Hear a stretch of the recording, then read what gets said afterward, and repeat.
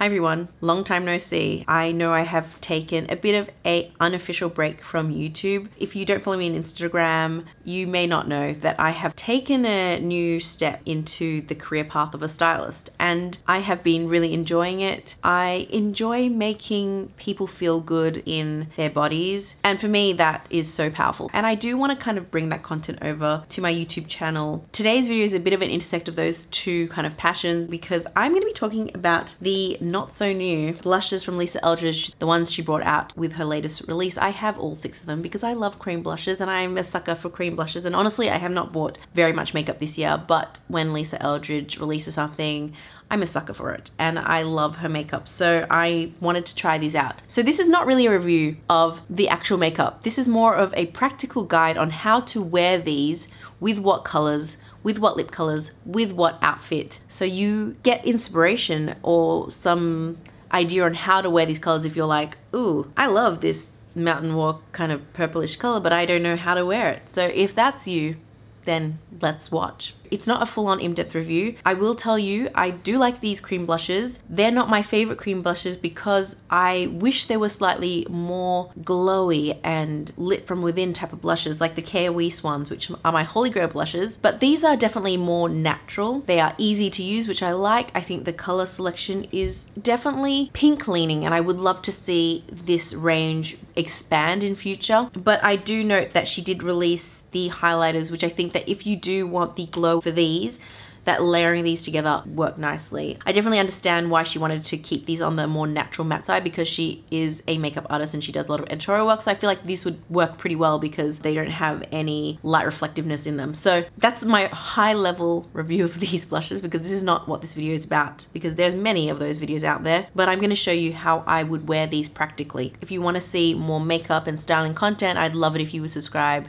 Without further ado, let's get into it. So I'm going to quickly show you how I use this elevated glow and I have the shade Crystal Nebula. And by the way, if you're interested in any of the products I'm using, I'm going to list them in the description below. My main concern is that my skin is quite dull and it's lost that kind of glow from within, the luminosity that I had in my youth, in my 20s, which I want to bring back with products like these, which I never used to use until I started using the Charlotte Tilbury Hollywood Flawless Filter and I fell in love with that product and ever since then, yeah, I knew that I liked that kind of glowy product that wasn't glittery, which this is completely. I just like to put it in this area under my eye, kind of cheekbone area quite liberally. Like I don't think Lisa Eldridge uses this much at once. And then I like to take, without even blending it, my concealer and put that on top. You know, it's probably not the suggested way, but this works for me and I like the result. And I just take a brush and blend it all in. Back in Melbourne, we're wearing masks again. I don't use really foundation anymore. I only put makeup on my eyes and do my eyebrows and that's it. But for the purpose of this video, I will be doing a full face. Okay, so now my base is done and I'm gonna go in with Pink Soap, which I think is the most popular shade in her range. I feel like it's quite a neutral color as well, so I feel like it goes quite well when you're wearing colors that are maybe louder and you don't want the makeup to overwhelm the look. So, you know, a little does go a long way, honestly. So just be mindful of that. And she does recommend using fingers and I think this product, what I do like about it is it's very effortless. I feel like this is pretty hard to go wrong. And I would say that this shade is definitely best for people with light to medium skin because I don't feel like this would show up very well on very deep skin because it is quite light. For this eye makeup, I would do something really simple. I would probably just go with like matte browns. So I'm gonna use a couple of matte browns that I have. Yeah, keep it quite simple. A bit of a light brown in the crease. I will define my lash line as well. You know, I am wearing white jeans and I just got that all over my white jeans. Tip is don't wear white when you're filming a makeup tutorial. And I'm gonna define my lower lashes as well, which is what I always do really.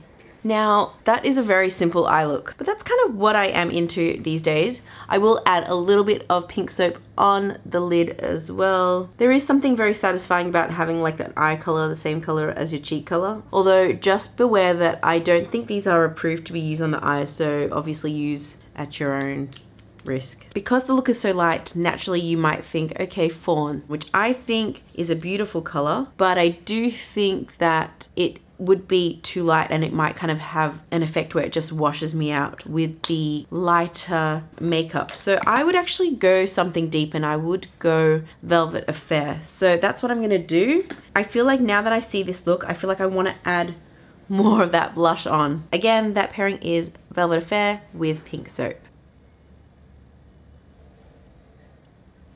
So realistically, I would wear that look with this type of outfit. I would go for something a bit more neutral on the face and so I can actually wear some color because I don't feel like it's clashing and I feel like these tones are in sync. This is another outfit that I would pair this makeup with. Going monochromatic is quite satisfying aesthetically. This shade of, of pink is very kind of this type of pink where it's soft, muted, and quite neutral.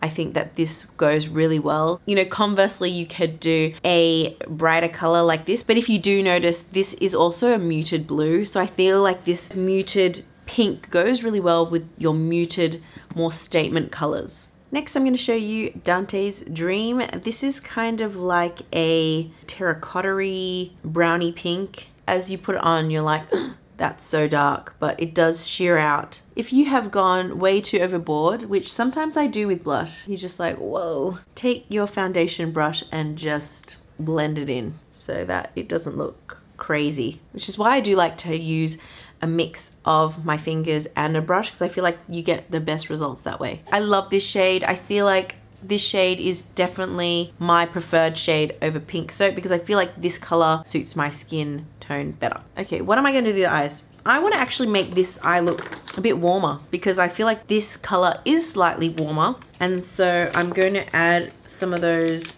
warm brown tones onto my eyes and you might think, oh, this still looks really boring. And then I'm also gonna add liner. I love this eyeliner from Escentric Cosmetics and it's in this really nice mid-tone brown, which I like. Again, super simple, but I feel like these colors just work really well. These kind of a little bit richer, warmer browns. Now with lipstick, I would actually go Velvet Decade, but I'd use it like a lip stain type of thing where I would just add a little bit on the lips like that. So it's not too harsh. You know, I would do that. I'd totally do that. So that is Velvet Decade with Dante's Dream. I just think they go really well together. So with these kind of deeper chocolatey tones, I would do browns. I do like deeper tones with these kind of richer hues and because brown is such a, a color that has been trending for a while now, I do think that it looks quite modern like this. I think also with a cream on top you could also do those kind of creamier tones as well to create some contrast okay next i'm going to use island glow which is a coral that i feel does lean a bit more pink than orange than i expected so you can sort of see it is quite a pink coral. It's a very summery color and kind of what I think of when I think of seasonal colors. But I would wear it whenever. You know, I don't subscribe personally to different colors for different seasons. I definitely would be inclined to add this color on the eyelid as well, just because it's so vibrant, which I have done actually before for this particular shade. And I would also put some on the nose as well, so I look like I've gotten some sun.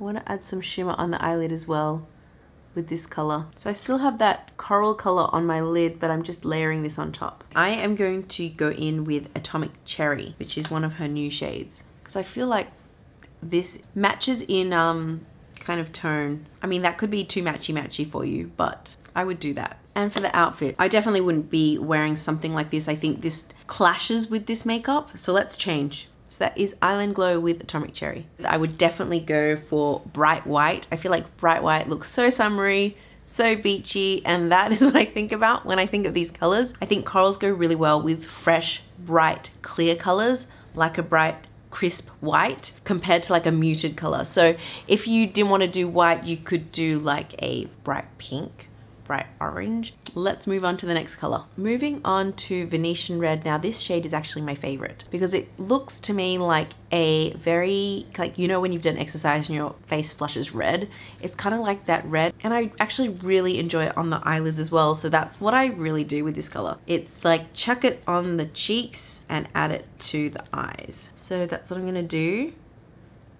Again, it looks scarily opaque and like a crazy color, but it really sheers out really nicely, you know, and again, I like this on the nose as well. I'm gonna add some on the eyelids as well. With a bit of that leftover makeup on the eyes, I just lined my lash line again. I'm also actually gonna add a bit of Celestial Fire, which I did buy. I thought it'd be like a nice glowy bronzer and add that on the cheeks as well. Ooh, that was a lot. I'm gonna migrate a bit of that into the other side. Blend that in. Wow. I think I'm gonna have to bring out the foundation brush again. But yeah, I feel like I look like I've had a bit of a tan. What do you think? like I've had some sun. I just feel like this is the healthiest color. I love it. Definitely my favorite out of all of them and did not expect this to be my favorite. I thought my favorite was gonna be Dante's Dream and I feel like this is quite unique in my collection of cream blushes. Like for me, that's a holy grail blush. If it looks like it's in synergy with my skin and that color could naturally occur on my skin if you know what I'm saying. Now in terms of what color I'd wear on the lips, I'd wear like a My Lips But Better color. This one is Kitten Mischief and this one is, it gives my lips some pigment and it's a little on the pink side.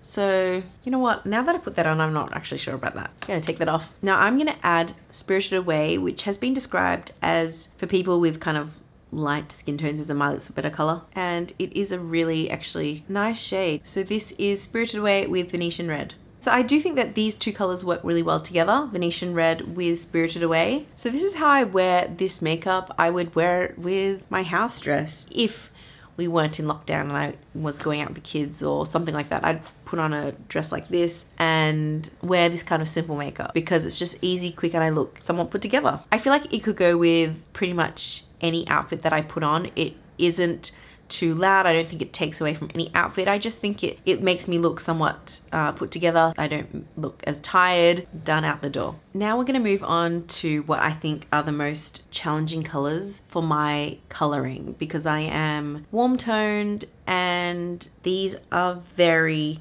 cool toned. I have not worn these very much. This is going to be a little bit of an experiment of how I'm going to pair these today to make them work. I'm going to go for what I think would be slightly easier. This is Mountain Walk. I don't think I've actually used this, so I'm gonna have to shake it. Because the first time you do use this, there is gonna be a bit of oil coming out because it might have separated in transit.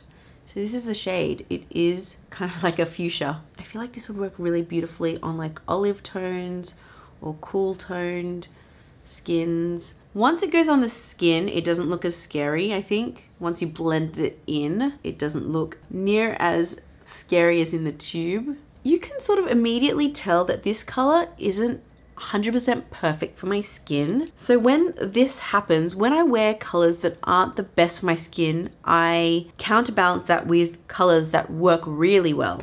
Some warm tones like orange and things like that. So that's what I'm gonna do I'm gonna go and do an orange in the crease to balance out the coolness of the blush. And I'm also gonna smoke it out with a deeper brown, bit of a smoky eye.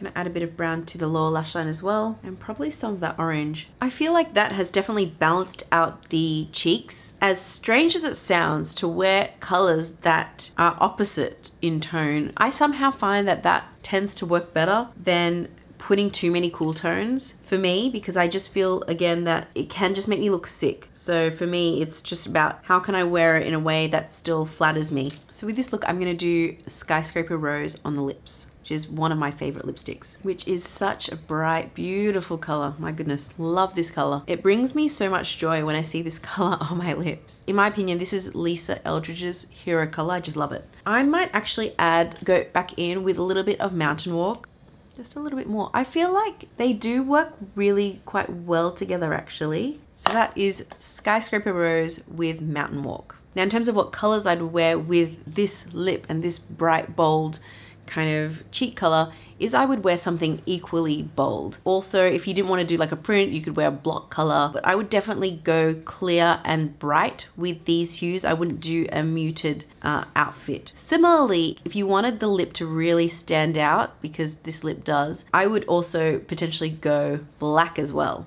So I'll show you the two side by side. Can you see the black really does contrast very much with the lip? And I think sometimes because black can sometimes look draining, you do need that pop of color to bring your face forward so it doesn't, you just don't look washed out. So yeah, I surprisingly actually love this combination. I did not expect to find one that I really loved. And then we are going to move on to the lucky last one, which is Pink Poetry. And I tell you, I'm a little bit unsure of how I'm gonna wear this with what color, but let's just see how we go. This color is not my kind of color for sure, so I haven't worn it. Out of all these colors, this is definitely the trickiest one for me to wear because again, I am warm toned and I'm just trying to push it out because uh, it seems to be stuck.